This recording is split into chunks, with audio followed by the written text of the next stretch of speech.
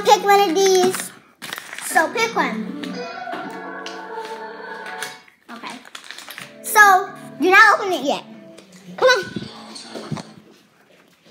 So we both we have each test, and so you have to go look over there and um go look on your thing. I think I know what I have, guys. Crewmate. I can see it. See.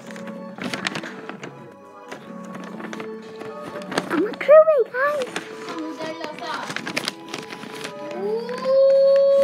So guys, come back for part two.